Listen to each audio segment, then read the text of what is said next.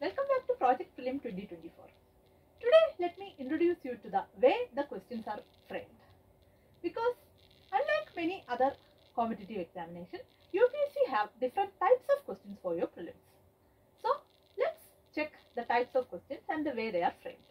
So, we are showing you the questions from last year's that is the 2023 UPSC Civil Service prelims.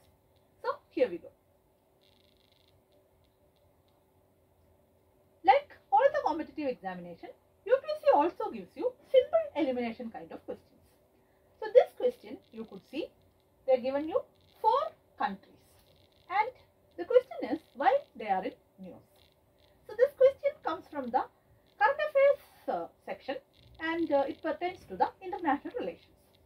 So you have four options. Why these countries are in news and the options if you see discovery of uh, rich deposits, establishment of Chinese military base, southward expansion of Sahara Desert or successful coup. The answer is D here because all these countries saw the successful military establishment coming into power in recent years. So that's the answer. Now let me remind you just because this is a simple elimination type of question doesn't automatically mean that these are easy questions they could ask you some real hard fact and if you don't know the you know exact answer you may sometimes find it really really difficult to eliminate this question sometimes you may be able to eliminate two questions i mean two options but uh, still it will be you know difficult to eliminate the remaining two so simple elimination type of questions automatically doesn't mean that they will be easy but you know, comparatively, you need lesser time to process this question. It will be easy to read and uh, comprehend. And if you don't know the answer, you will be able to skip the question and go to the next one also faster. So, these are some of the questions and uh, I would say out of the 100 questions now like uh, maybe around 20 questions are like this. But of course, the numbers can vary. So, this is your first types and most of the other competitive examination you will find most of the questions in this format. Okay. Now let me move on to another type. this type of questions particularly you see them in the UPSC prelims and earlier this kind of questions were called as assertion and reason. Here what happens is they will give you two statements and this will be the four options. So, the option A always will be like this. Like you have two statements here and the option A states that both these statements are correct and the statement 2 is the exact explanation of statement 1. So, with the example, let's go into that uh, part. So both the statement will be should be correct here and the second statement should be an explanation or the reason behind the statement 1. That's your option A. Now the option B states that both statement 1 and statement 2 are correct and statement 2 is not the correct explanation for statement 1. Here what you have to understand is both the statements are correct if you read them independently, statement is not an explanation of the first statement. That is the option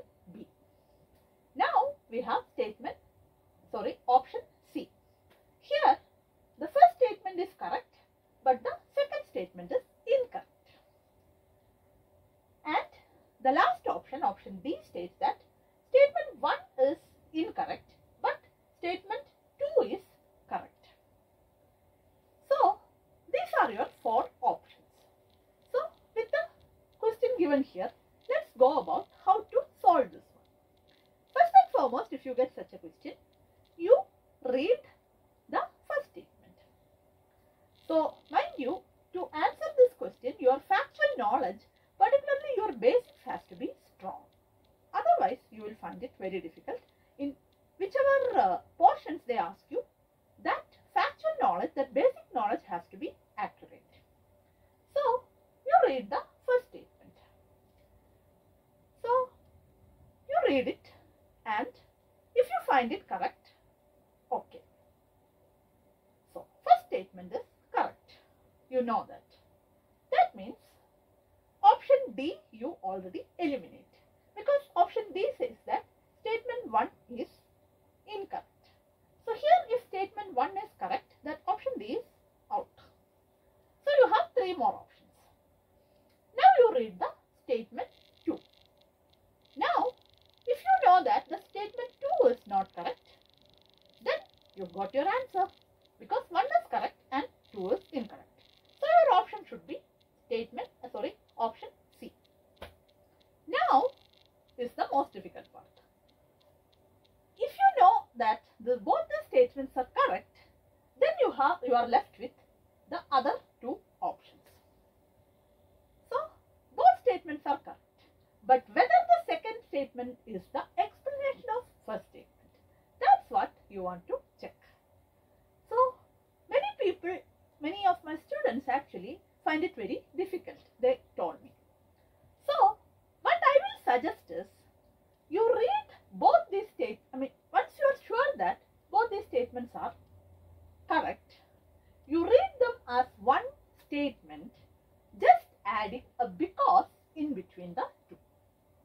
So, that's your way of doing it. Now, let's look into the actual question here. 7th August is declared as the National Handloom Day. This is a recent happening. So, if you follow your current affairs, you know that this is correct. Now, the second statement. It was in 1905 that the Swadeshi movement was launched on the same day. So, the second statement states about the Swadeshi movement and 7th August 1905, you know, was uh, the day when this movement was launched. So, if you know your history, you know that the second statement is also correct. So, now you put a because and them together. 7th August is declared as the National Handloom Day because it was in 1905 on this day the Swadeshi movement was launched. It makes perfect sense. So, your answer is A. Because the second statement is the perfect explanation of the first statement. So, first part is from the current affairs and from your history. So, if your facts are strong, you could arrive at the answer. So, before I move on, let me just remind you once more that the present pattern of uh, UPSC prelims emphasize a lot on your understanding of the basics because most of the questions you have to, I mean, you can't use the other kind of elimination technique, but you have to rely on your strength in the basics. So, this is the type of question. So, if your this is actually an easy question and this is how you solve it. So, it may be difficult, it may be easy. Most of the time I find that this uh, type of statement questions are comparatively easy because they are, you know, checking the basic facts and most of the facts are not too difficult. So, if you revise properly, these kinds of questions can be really scoring for you. Let's move on to another type. Here you have two statements and which of the statements are correct or sometimes they could ask which of the statements are incorrect. So two statements and there is no nothing like connection or anything like the previous type. So two statements and the options are only one is correct. I mean sorry first one only is correct and option B is two only is correct. Option C is both the statements are correct and option D is neither one nor two. So here you read both these statements and then decide the correctness. In this particular one, the biodiversity management committees are key to the realization of the objectives of the Nagoya Protocol. That's a correct statement. And the second one, again about the biodiversity management committees, they have important functions in determining access and benefit sharing, including the power to levy collection fees on the access of biological resources within its jurisdiction. This uh, biodiversity management committees are an important component in your environmental segment And in the environmental segment, the Indian legislation and uh, organizations directly connected with environment is a major area. So if you have revised that part, you might have studied about these two and you can see that both the statements are correct. So your option is both 1 and 2. So here actually it's a little bit easier than the previous one because you just need to check whether both these statements are right or wrong. That explanation part is not added. So these kinds of questions are quite common in uh, UPSC's prelim examination and again your basic understandings becomes very very important. Now let's move on to another type.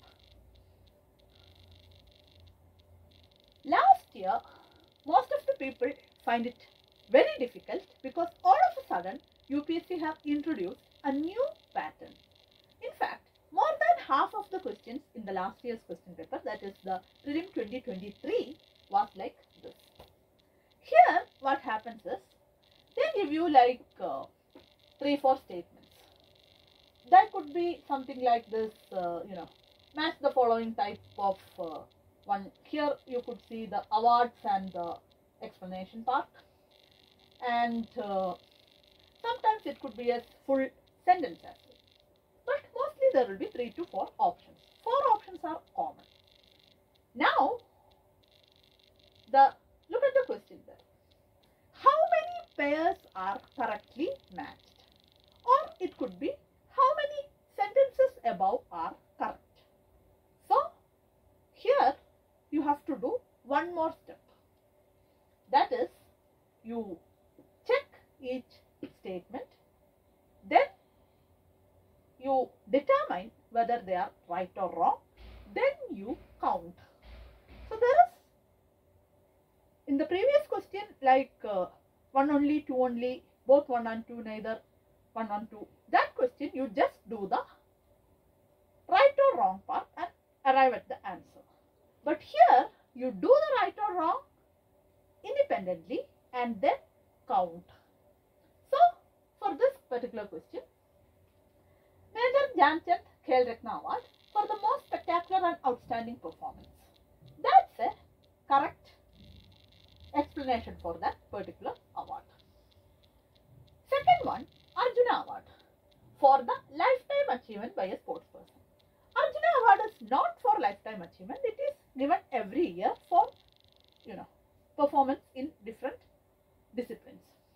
So the second sta- first statement is right. Second statement is wrong. Third one, Dronacharya Award to honor eminent coaches. That again is correct. And the fourth one, Rashtriya Khel Protsahan Puraskar to recognize the contribution made by sports person. That one is not correct because this is an award given to the corporates for promoting sports. So I would say that this is definitely a difficult question because this is more on the GK. From the world of sports nowadays they started asking a lot of questions. So this was one such question. If you know, I mean your uh, actual general knowledge about these things are good, you can actually crack this. This Khel Protsahan Puraskar, Protsahan means encouragement. So you could assume that it is by an outside thing rather than a sports person this award is being given. And Dronacharya and coaches, that connection is easily made.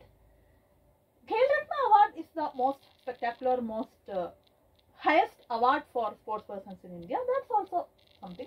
And Arjuna Award, since it is given every day, and if you are a regular reader of newspaper, you can also say that it's not for lifetime achievement. So, if you remain your cool, you could still come to the answer. But mind you, this type of question, as I told you, you have to independently determine each questions. Plus, you have to count how many of them are correct. So, a little bit extra time.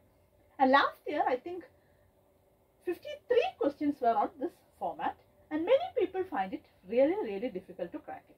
Not because of the toughness of the questions, but just because of the changed format. So, this was from the last year. So, I would say that uh, this is uh, the pattern which we saw last year. But for you people, they could come up with something new. So from there, I mean, in the exam hall, if you find any surprises, just read them calmly and allocate your uh, time adequately to crack that one. And if you didn't get absolutely any idea, skip it and move on. So how to go about that, uh, you know, in the exam hall, how to do that uh, rounds and uh, about the presence of mind and other kind of things, I'll do a separate video. Now, in the next episode, let me cover some areas where, uh, you know, the actual content matters. So, UPSC prelims from different areas you get questions and in the next episodes onwards, I'll be covering different areas based on the previous questions. Thank you for watching.